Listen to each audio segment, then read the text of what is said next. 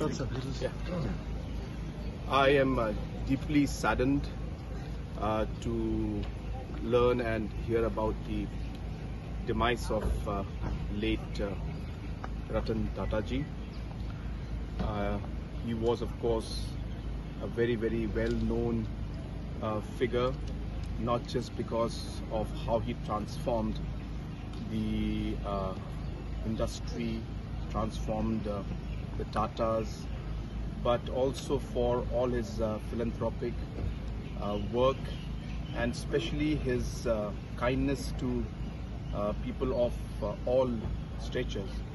And uh, I think that's what he will be remembered most for, for his kindness and for his humility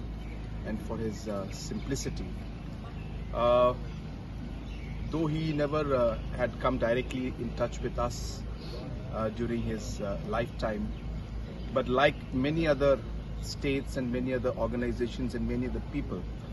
late Ratan Tataji had um touched many lives.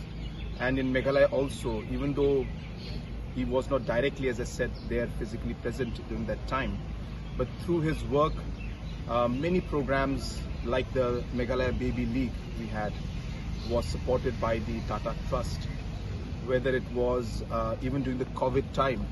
when we were facing large challenges, you know, supplies of different products were given by the Tata Trust, not just to our state but to many, many other states and to many, many other communities and organizations. Uh, and that's the kind of impact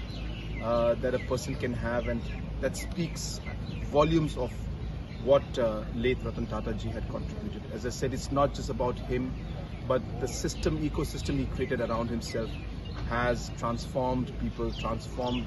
companies, transformed lives, and he has left a mark uh, in our, uh, in the nation and in the world as a whole, which I'm sure will be very, very uh, difficult to, to replace. And he will always, as I said, be remembered not just for his contribution to the industry and to economics and to growth of the nation, but also for his simplicity, for his humility, for his kindness, and just for the human being that he was.